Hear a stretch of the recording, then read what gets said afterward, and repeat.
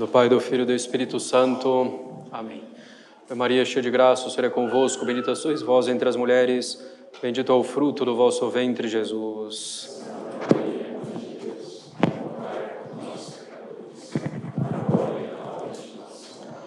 Podem sentar-se. Caros católicos, nessa importante festa de Nossa Senhora, que a Igreja quis ornar com inúmeras luzes e uma bela procissão, aproveito a ocasião para tratar resumidamente, considerando os santos evangelhos, de Nossa Senhora e de seu papel na história da salvação. Sem esgotar o que contém cada passagem que menciona Nossa Senhora, mas realmente considerando apenas alguns aspectos para podermos ver como em tão poucas palavras a Sagrada Escritura já diz tanto de Nossa Senhora. Comecemos então pelo momento da anunciação, pelas palavras do anjo Gabriel. Ave, gratia plena, ave cheia de graça. O termo ave é um sinal aqui de reverência. O anjo reverencia Maria. Quando vemos, caros católicos, os anjos aparecerem na Sagrada Escritura, são os homens que os reverenciam e não os anjos que reverenciam os homens. E é normal que assim seja, porque os anjos são superiores aos homens pela natureza angélica mais perfeita. São superiores aos homens, aos homens pela maior familiaridade que têm os anjos com Deus, porque excedem os homens na graça divina. Todavia, é o anjo quem reverencia Maria e não o contrário. Maria não é superior aos anjos quanto à natureza, pois continua tendo sempre a sua natureza humana. Mas Nossa Senhora é superior aos anjos pela graça divina o que é mais importante do que a simples natureza.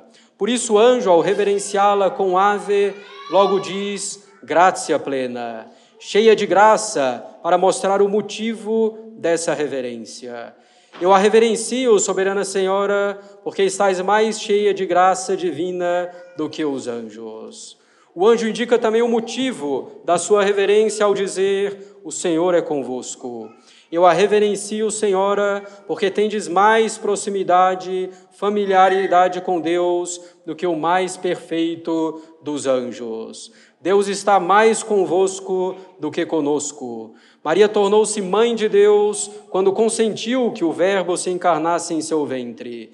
E antes de ele ser concebido fisicamente no seu ventre, foi concebido pela graça divina em sua alma. Verdadeiramente, Maria Santíssima é superior mesmo aos anjos, porque é mãe de Deus e, sendo mãe de Deus, está perfeitamente unida a Ele e cheia de uma graça transbordante, de uma graça que transborda para nós.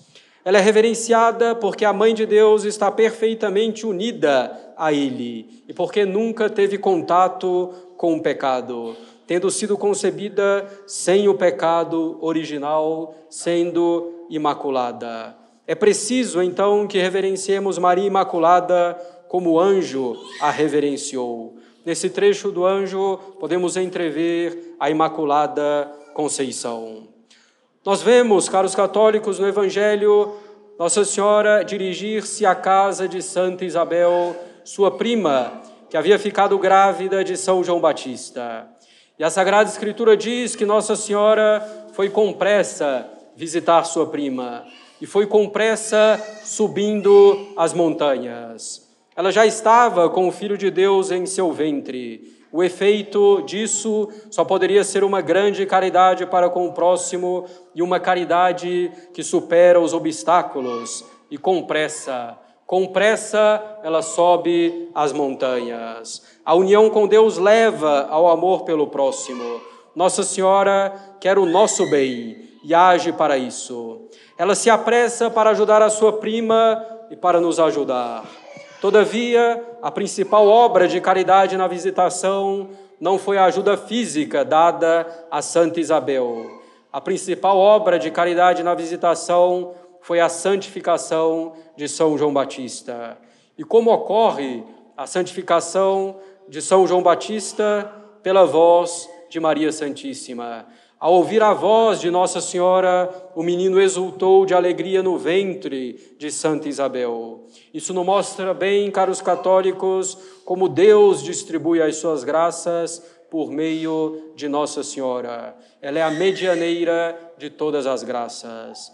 Ainda na visitação, nós vemos como Maria está inteiramente voltada para a glória de Deus.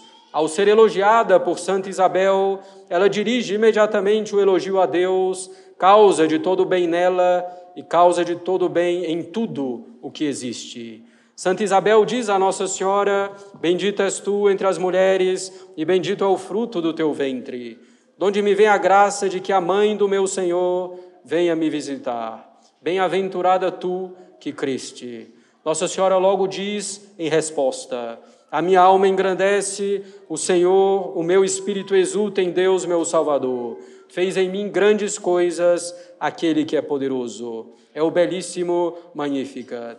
Nossa Senhora transfere imediatamente o louvor para Deus. Quando rezamos para Nossa Senhora, quando a reverenciamos, ela imediatamente transfere o nosso louvor para Deus. E que grande bem para nós ter os nossos louvores as nossas orações e pedidos apresentados diante de Deus por Nossa Senhora.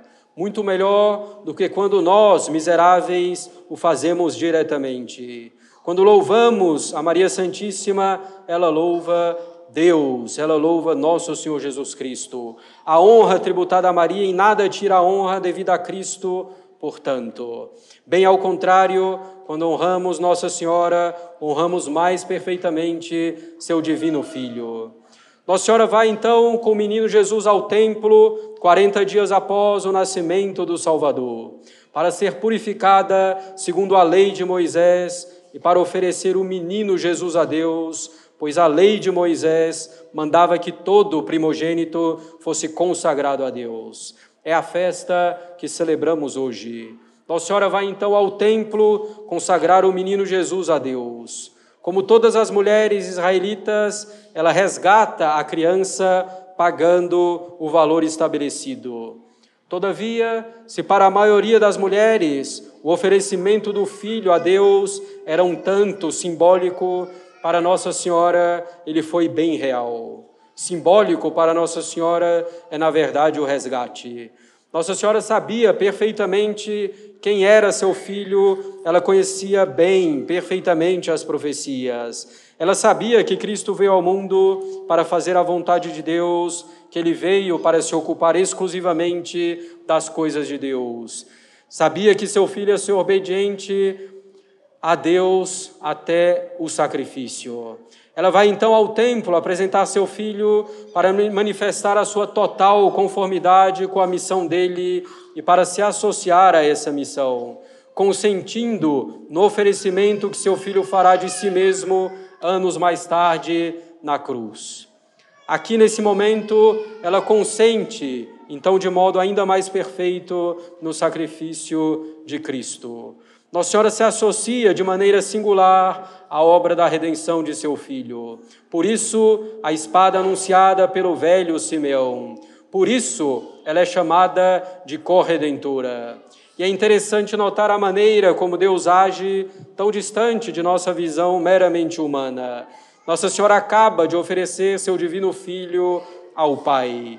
Qual a recompensa? Uma espada cravada na sua alma. Quando alguém faz uma obra por Deus, é bastante comum ser logo recompensado com alguma cruz. É Deus ajudando muitíssimo na nossa santificação. Vemos também a intercessão de Maria diante de seu filho nas bodas de Caná, quando ela obtém de seu filho a transformação da água em vinho. Nosso Senhor deixa claro que aquele milagre ocorreu somente em razão do pedido de Nossa Senhora. Ele havia condicionado o milagre ao pedido de sua mãe. Se ela pedisse, ele faria o milagre. Se ela não pedisse, não faria o milagre, nem começaria a sua vida pública naquele momento. E de fato, quantas graças nosso Senhor condiciona ao pedido de sua mãe. Recorramos a ela para que ela possa pedir por nós ao seu divino Filho. Tudo que ela, que ela pede ao seu filho, ela obtém. Ela tem a onipotência suplicante, como dizem os santos. Ela consegue tudo pela sua súplica ao seu filho. É evidente que ela pede sempre o que agrada a ele. E quão delicada é a bondade de Maria. Vemos nas bodas de Caná que ela intercede em favor dos noivos sem que eles tenham se dado conta de que estavam em apuros. Eles nem falaram com Maria Santíssima, e ela os ajuda tocada pela aflição deles. Quantas vezes Nossa Senhora já nos ajudou e nos obteve graças sem que pedíssemos, sem nem sabermos que precisávamos dessas graças. Se ela nos obtém grandes graças sem que peçamos, imaginemos o que ela nos alcança quando pedimos com humildade e perseverança. Devemos recorrer a Maria. Nunca se ouviu dizer que alguém que tenha recorrido a ela com verdadeira devoção tenha sido desamparado. Ela é a melhor das mães. Nas bodas de Caná ainda, ela é chamada de mulher. Nas línguas semíticas, era um termo bem respeitoso. E Nossa Senhora a chama assim também para indicar que ela é a mulher do Gênesis, inimiga do demônio. Deus disse à serpente ao demônio, logo após o pecado de Adão e Eva: Colocarei inimizades entre ti e a mulher entre a tua descendência e a dela, e ela te esmagará a cabeça. A mulher que tem uma descendência pela qual esmaga a cabeça do demônio é Maria. Ela é a mulher por excelência, bendita entre todas as mulheres. Ela é a mãe de Deus, a Imaculada Conceição, a medianeira de todas as graças, a corredentora, a onipotência suplicante.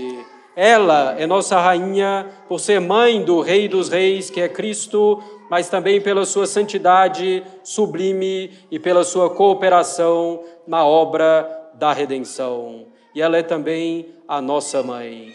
Nosso Senhor na cruz, finalmente, para os católicos, no momento mais importante de toda a história, pouco antes de consumar seu sacrifício de valor infinito, diz à sua mãe: Mulher, eis o teu filho, discípulo, eis a tua mãe.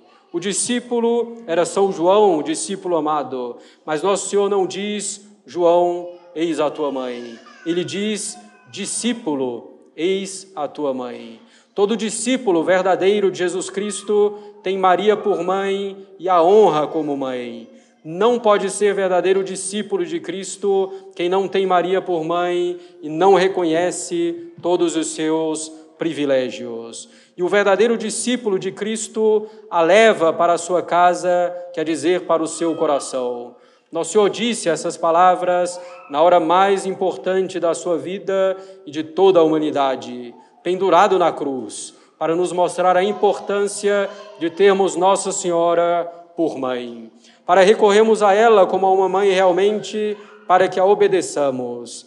E quais são as ordens que dá Maria aos seus filhos? Está nas bodas de Caná. Ela diz aos servos do casamento: Fazei tudo o que ele, Jesus, vos disser. Fazei tudo o que ele vos disser. Nossa devoção a Maria nos leva a nosso Senhor Jesus Cristo, caros católicos. O único objetivo dela é nos fazer semelhantes ao seu Filho. Ela é a mãe de Deus, a Imaculada Conceição, a medianeira de todas as graças, a corredentora, a onipotência suplicante. E é também nossa rainha e nossa mãe e nossa advogada. Tudo isso contido em tão poucas passagens da Sagrada Escritura. Recorremos a ela com confiança como filhos. Quão suave é a devoção verdadeira a Nossa Senhora, aquela que procura imitar as suas virtudes, que recorre a ela como mãe. Quão suave a realeza e a maternidade de Maria para conosco. Em nome do Pai, do Filho e do Espírito Santo.